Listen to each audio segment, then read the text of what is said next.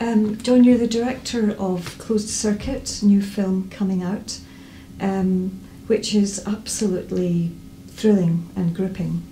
Um, I wondered, how do you, as a director, keep the tension throughout a film with lots of different personal plus big things happening?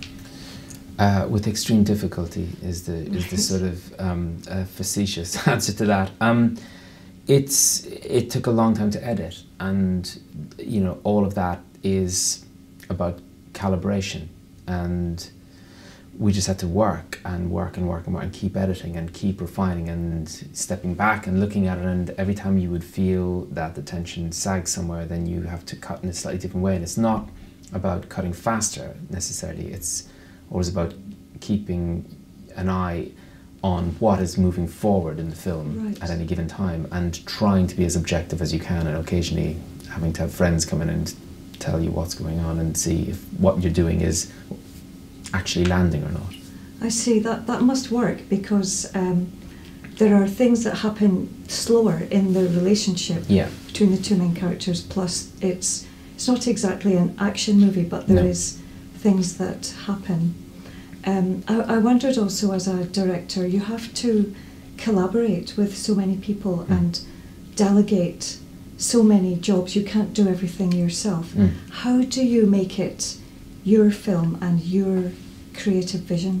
I don't know if it's my creative vision. I mean, I, I think um, I've never seen myself as an auteur or anything of the sort, and I think I surround myself with the very best people I can, and I want to know what they can bring to it as much as anything. But they will usually want to hear what I have to say first. So, Right. the thing that draws you to a project, that you feel that you can infuse into the project, is usually fed through those people. That they will often take.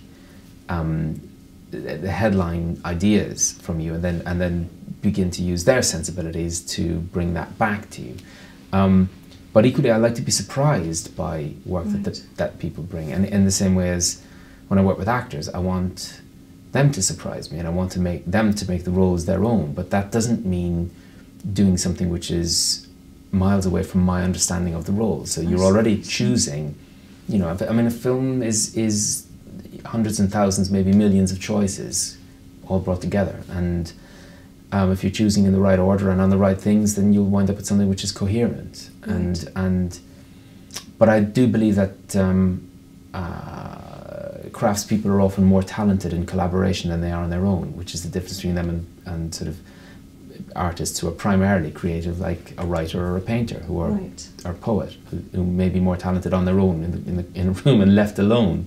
So that's how ultimately something comes together and feels coherent. But it's um, I don't think it's one person's vision for a second.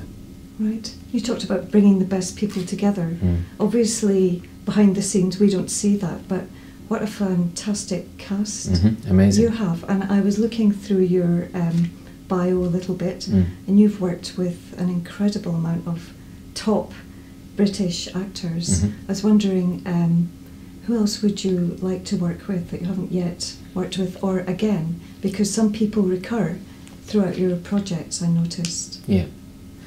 Um, there are very few actors that I've worked with that I don't want to work with again. Let me put it that way, because Oh, it is one of the great joys of my working life is working with actors, and I've been really fortunate to work with, as you say, some of the best in in the film world, um, like Michael Caine or Andrew Garfield, um, and in the theatre world and in the American theatre world, like Christopher Walken and Sam Rockwell. Um, uh, uh, Daniel Day Lewis would be all right.